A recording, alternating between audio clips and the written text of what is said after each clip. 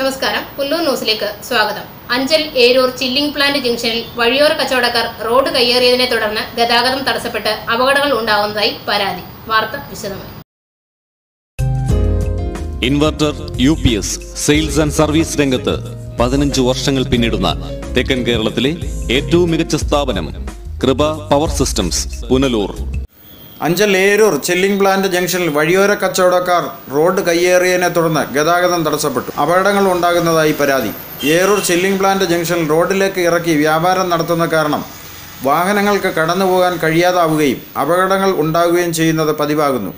നിരവധി കടകൾ റോഡിലേക്ക് ഇറക്കി ടാർപ്പ് കൊണ്ട് കെട്ടിമറച്ചത് കാരണം ഈ രണ്ട് സൈഡിൽ കൂടിയും പോകുന്ന വാഹനങ്ങൾക്ക് പോകാൻ പറ്റാത്ത തരത്തിൽ ഗതാഗത തടസ്സവും കാൽനട യാത്രക്കാർക്ക് അപകട ഭീഷണിയും ഉയർത്തുന്നതാണ്.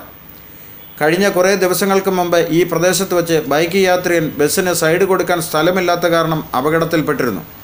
ഈ തരത്തിലുള്ള അപകടങ്ങൾ ഇവിടെ തുടർക്കഥയാണ് ഇതിനെ തുടർന്ന് നിരവധി സംഘടനകളും പ്രദേശവാസികളും ഏറൂർ പഞ്ചായത്തിലും പോലീസിലും പൊതുമരാമത്ത് വകുപ്പിലും കളക്ടർക്കും പരാതി നൽകിയിരിക്കുകയാണ്. എന്നാൽ ഇതുവരെ യാതൊരു നടപടിയും കൈക്കൊണ്ടിട്ടില്ല.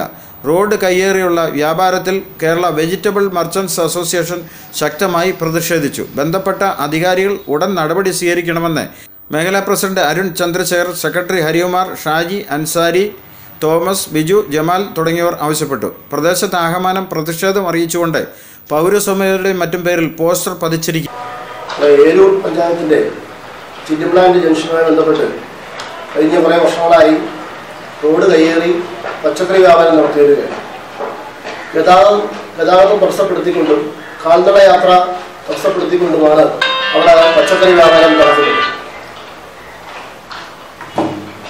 അത്തരത്തിലുള്ള വ്യാപാരങ്ങൾക്കെതിരെ K V M R K V M A Kerala വ്യാപാരി വെജിറ്റബിൾ മർച്ചന്റ് അസോസിയേഷൻ കഴിഞ്ഞ കുറേ കാലങ്ങളായിട്ട് നിരവധി നിയമ അധികൃതർക്ക് പല പരാതി നൽകുകയും ശക്തമായ സമരങ്ങൾ നടത്തുകയും ചെയ്തിട്ടുണ്ട്.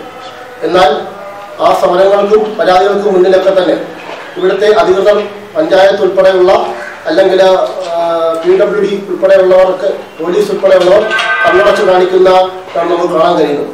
കഴിഞ്ഞ ഒരു മാസം മുന്നേ ഈ ആലഞ്ചേരി ചില്ലുംപ്ലാന്റ് ഈ പച്ചക്കറി വ്യാപാരവും റോഡ് കയ്യേറിയുള്ള വ്യാപാരം നടക്കുന്ന സ്ഥലത്ത് നിരവധിയായിട്ടുള്ള ആക്സിഡന്റുകൾ നടക്കുന്ന ഒരു സാഹ- സാഹചര്യമാണ് നമുക്ക് കാണാൻ കഴിഞ്ഞത് എന്നാൽ എന്തോ ഭാഗ്യം കൊണ്ട് വലിയ അപകടമൊന്നും തന്നെ ഉണ്ടാകാതെ രക്ഷപ്പെടുന്ന ഒരു സാഹചര്യത്തിലേക്ക് ആണ് മാറിയത്.